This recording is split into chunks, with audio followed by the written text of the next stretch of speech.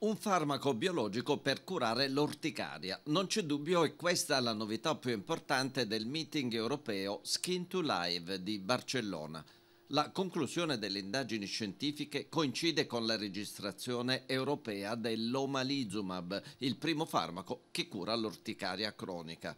Professor Pigatto, possiamo dire che si apre un capitolo davvero nuovo grazie a un farmaco che va oltre gli antistaminici? Assolutamente sì, è un farmaco de derivato dalla tecnologia monoclonale che ha un'azione specifica eh, soprattutto in pazienti con questo tipo di forma cronica di orticaria.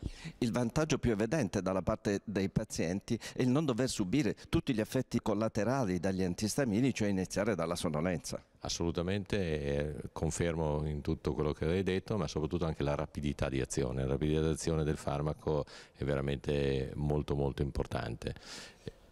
Omalizumab aveva un meccanismo d'azione che anticipa la cascata di eventi che poi porta all'orticaria. È un farmaco che blocca l'azione di questi mediatori e eh, blocca anche la produzione di eh, sostanze vasoattive come l'istamina, quindi ha un'azione duplice.